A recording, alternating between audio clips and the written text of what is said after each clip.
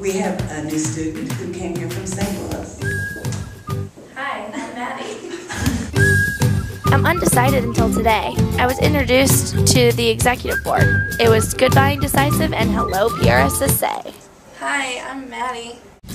Excuse me, watch out, movie coming through. This map shows the school's central nervous system, the MAC lab. You have your ad students, and then you have your journalism students, have your TV and film students. Oh, and then you also have the greatest people you can ever meet, the PR students. So you've never been to a conference before? No, Shut up. Shut up! I didn't say anything. Meet the executive board. VP of Communication, who handles all of the gossip. VP of Professional Development, who plans everyone's lives. VP of Finance, who act like they have so much money. President elect, who is always planning things for next year. That's all run by the president, who has all of the 411. That's why his binder's so big. Oh, hey Maddie, how's it going?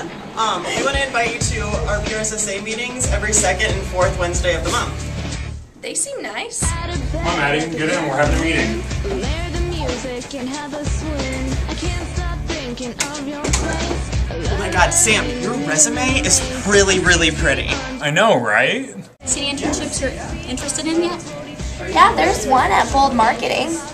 Hey Maddie, Sam told me you were interested in an internship at Bold Marketing. I could talk to them if you want. Really? You could do that? Yeah, that's what PRSSA is all about. One time, they won the Star Chapter Award, and I was thinking about transferring to Mizzou. And they don't even have a PRSSA. Why can't we all just have PRSSA?